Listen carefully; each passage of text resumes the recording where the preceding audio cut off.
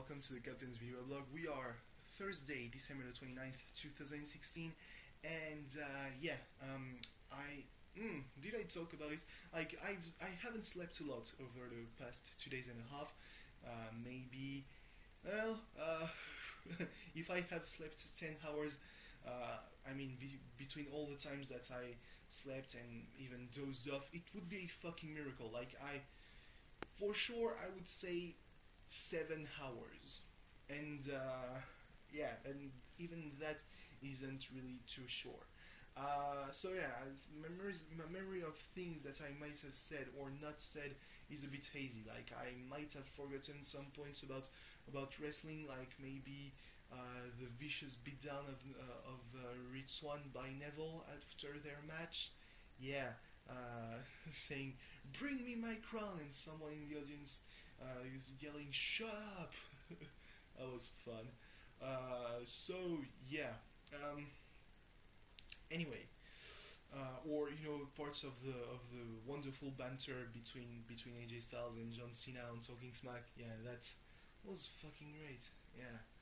Um, so, anyway, uh, so one thing that I might have or might not have talked about was that I went to I, I was going to see Kimi no Na wa, the latest movie by Makoto Shinkai. You know Makoto Shinkai, uh, Garden of Words, five centimeters per second. So yeah, basically the movies out of which you make uh, gifs, you make gifs, or uh, or um, stunning uh, wallpapers. Yeah, the, the, those movies.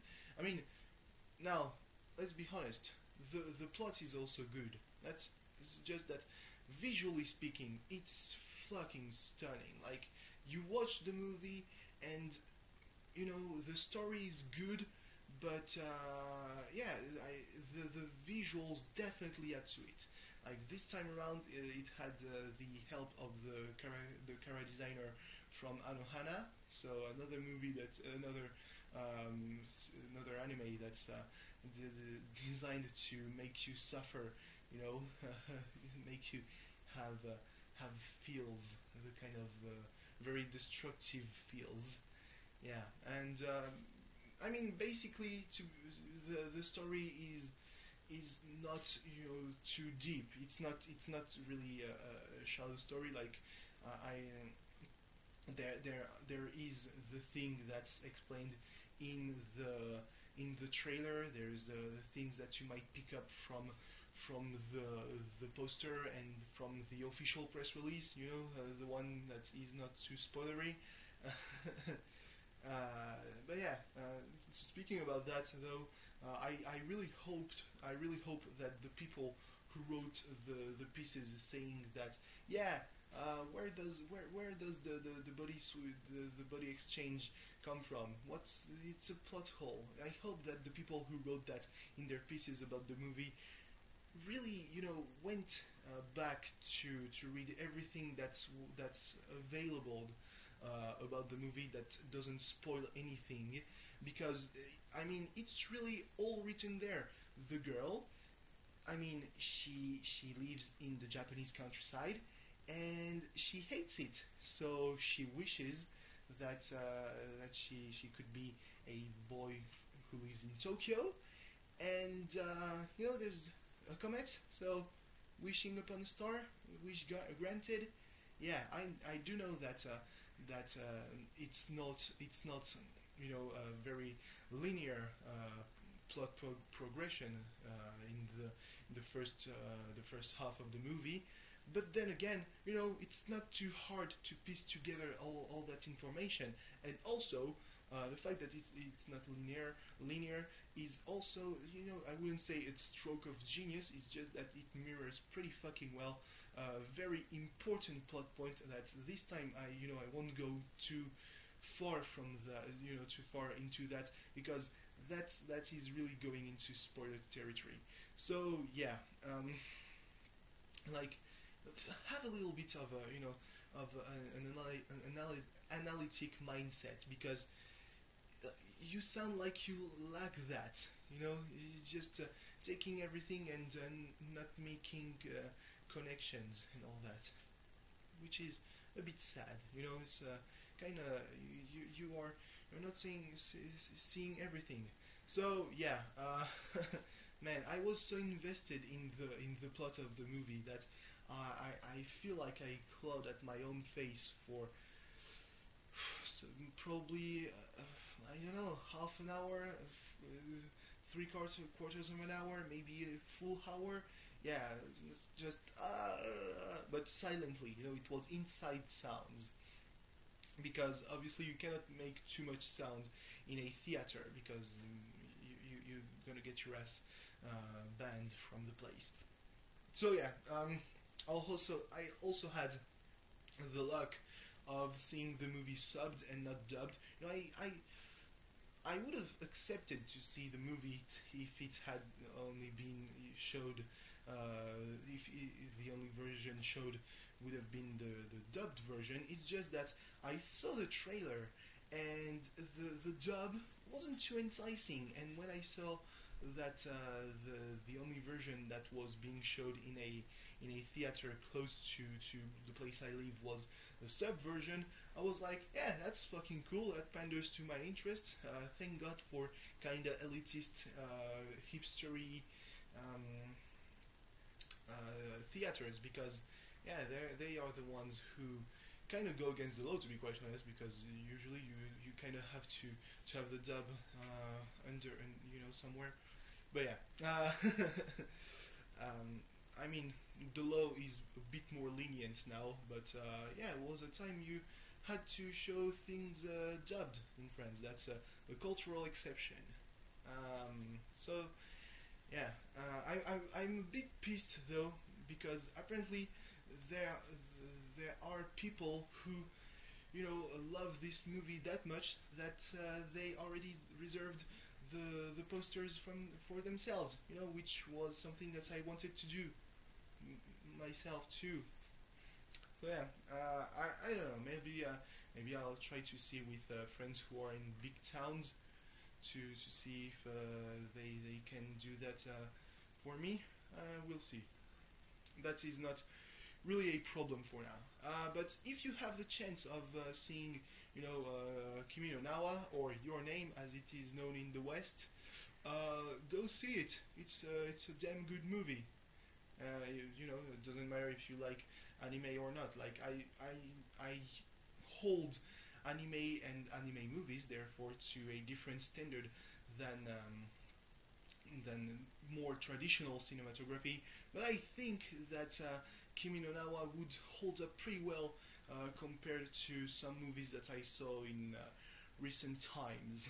yeah, uh, I, I, you know, I know that uh, you know it's it's because of how successful it's been in Japan that it's been released in France in in, in theaters. But I can't help but feel like you know uh, I don't know we there were so many great movies the, this past couple of years like. Uh, uh, 2014 had uh, had the Tama, Tamako Market, well, the movie of Tamako Market, which was uh, pretty, pretty fucking good. And uh, this year we had you know Dokusei and Koe no Katachi, and uh, last year there were all the movies of uh, the Project Itoh. So yeah, just just feel like sure you don't trust movies that aren't uh, Miyazaki because I would have said Ghibli, but then there was Omoide no Marnie that uh, did kind of a flop despite being Ghibli. I think it was Ghibli. I might be wrong. Uh, and then you know they people get cold-footed, so uh, it's uh, it ends up being yeah. So we have this movie, and it's a great anime movie, and uh, uh, people like it like like it a lot.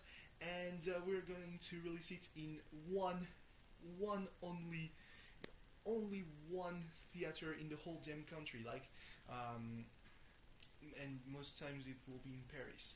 Like uh, this this winter, uh, or yeah, this winter, they they had a limited uh, release of uh, of the first Kizumonogatari movie, and it never even came close to the place where I live. So I was really pissed. Uh, yeah.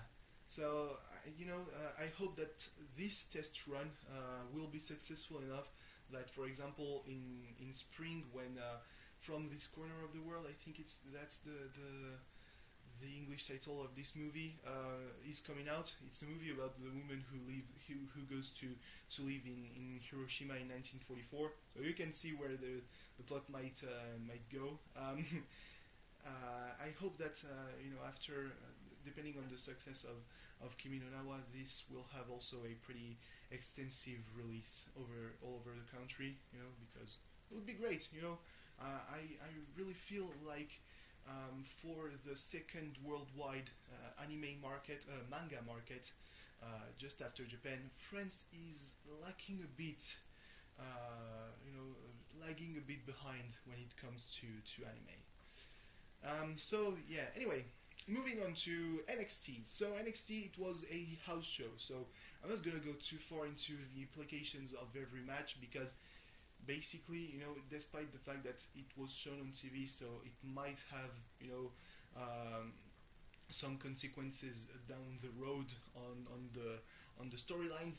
Right now, it's not gonna matter because it was the house show from Osaka, Japan. So the thing from just after uh, NXT Takeover Toronto, and, and then next week they they are having they they show the the, the house show from Melbourne, Australia.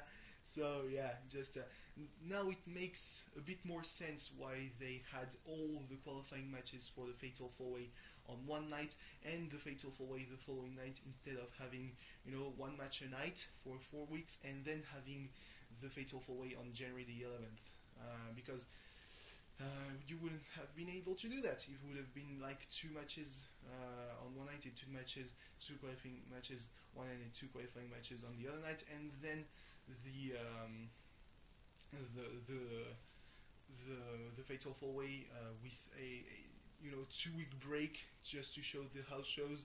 Yeah, so uh, yeah. Anyway, uh, so all three titles were on the line at uh, the Osaka house show, as is you know kind of. Uh, uh, the thing with house shows there are always title matches but very rarely do the title change hands and therefore uh, the tag team titles and the women's title uh, didn't change hands. Uh, the only ti- the, the only title that changed hands was the NXT title. You know, in this very overbooked match between between Samoa Joe and Shinsuke Nakamura. I mean, it's not the, the fact that it was overbooked to me doesn't mean that it was a bad match. It was a really good match. Like it was pretty well crafted, but that's the thing. It was crafted. It felt rehearsed. So yeah, I mean, it felt rehearsed from end to end. There was at no point did it look like they might have been calling spots like uh, Becky Lynch during her, her match on SmackDown. She was very um, not uh, not audibly but very visually she always was speaking god damn it and it was it wasn't trash talking because we would have we would have heard that no she was calling spots uh, so yeah uh, but however the fact that uh, titles didn't change hands didn't doesn't mean that uh, wasn't good good matches like uh, I do think that the tag match was the the, the tag title match was the match of the night. Uh, DIY defended their titles against Akira Tozawa and uh, and Tajiri, and the match was fucking amazing. There was, you know, uh, two opponents having the same style, you know, so uh, having uh, Tozawa and and Ch- and Ciampa, you know, the very very fast-paced, uh, you know, wrestlers um, and also very technical. And then you have uh, you have Champ, you have uh, no, it was, it was with Gargano, Gargano and Tozawa because Ciampa and Tozawa they are the the the one with ones with the hard strikes. You know, it really showed when they were both in the ring at the same time. And then there was uh, Ciampa and Tajiri who are you know very strong but also very you know the chain wrestling. It was just when and then you know it was four guys who meshed very well with each other and it was a great match went for over over a quarter of an hour like maybe 18 minutes and it ended with the usual you know the the stereo you know, super kicks um, but yeah didn't didn't take anything from that Tozawa had uh, had a uh, did a tope and uh, Tajiri uh, spit the, the green mist in the air to intimidate Ciampa but it didn't work. So yeah, it was a really fantastic match. Like uh, it's uh, the fact that it was a house show also helped because uh, you have some some huge liberties on house shows. Well, uh, apparently, according to a to a leaked document, not that much. But I, it just sometimes it just feels it's uh, the things said in that paper felt a bit a bit wrong. So yeah. Um, speaking of liberties that you have on on house shows that you might not have on on TV uh, during the Liv Morgan and Aliyah match, uh, in, in Aliyah versus uh, Billie Kay and Peyton Royce match. Uh, at one point, uh, Liv Morgan had had Royce, no, Kay, locked deep into into body scissors, and she rolled around the ring like for maybe good a good minute, and the referee at every time uh, Kay had uh, the the, the shoulders down, he tried to count her, but Liv Morgan was still uh, making rounds around the ring, and it was really fun. And you think that you know in during a, a house show this might not be you know uh, setting up for everything, but on TV it might be you know the setup for for the end of the match. You know it might be the setup for uh, for then you take a kick to the face and you're done for the count. But no, because actually it's uh, Royce and Kay who won the match uh, with uh, Peyton Royce actually um, pinning uh, Liv Morgan, who has sort of a following in Japan apparently. Um, and yeah, uh, like they, the, the, it went into more you know more traditional territory for the the remaining of the remainder of the match with uh, uh, Royce and Kay really um, isolating isolating Leah from from Liv Morgan, and even when she managed to do the the tag, well, uh, Liv Morgan just threw herself into into the mouth of uh, of the beast. So yeah, just. Uh, it was a short match compared to the rest of the card because it went, it clocked in at under 10 minutes. Yeah, so uh, when you compare to the NXT Women's Title match between Asuka and and Nia Jax, where just Jax dominated for the whole match, you know, despite Asuka trying to to do the Asuka lock and and the sleeper and uh, and basically, you know, she she had her all her whole arsenal and uh, yeah, I mean, it took her a quarter of an hour to really be able to to uh, kick uh, Jax in the face and have her down for the count. Uh, yeah. Did I forget a match? Yeah, I forgot Oney Lorcan versus Andrade Cien Almas. Very good match between two guys who know the place, like Andrade Cien Almas. Remember La Sombra, the IWGP Intercontinental Champion, won that from Shinsuke Nakamura. That uh, that did happen, and um, yeah. Uh, uh, it was a very good, very technical match with uh, neck breakers and and uh, exploder suplexes and all that. Like Lorcan won with um, an, an inverted exploder superplex. Uh, and it's actually pretty weird to see people win with uh, superplexes. Like you wouldn't expect that. I I wasn't that shocked, I guess, when uh, Neville won with a superplex because it looked stiff as as fuck but uh, yeah, it's not it's not a match winning move usually. But uh, yeah, I mean, it's it, because it's not really flashy. I guess that's a, an, an inverted exploder is pretty flashy, but yeah, you don't see that you know winning a match, and um, that's uh, that's that's what happens on house shows. You know, a, ma- a, move that you might not see with a match wins it. Um, so yeah, overall, it was a very you know uh, for for a house show, it was a very enjoyable house show. The, all the matches were really good. Um, it just it just kind of kind of feels like uh, it's not gonna amount to anything because, for example, Nia Jax, she's a mainstay on the main roster. Oney Lorcan and Andrade Almas. Yeah, no, one is basically you know still um, uh, an elevated jobber. You know, Almas, he's he's uh, in high profiles, in high profile rivalries, but he's there to lose. Uh, and uh, I mean the only the only match that really seems like it was going anywhere. This rivalry seems like it ended last week. So yeah. Um, anyway, uh, next week uh, more of that. You know, uh, there's match with Tye Dillinger, Bobby Roode, uh, and uh, El- Elias Samson. and the last one is oh, I don't remember. Um, and uh, there's another match for the NXT tag titles with uh, DIY defending against TM61 because Australia. so yeah, you see that's the logic of of house shows. Um, anyway, thanks for watching. See you tomorrow. Bye.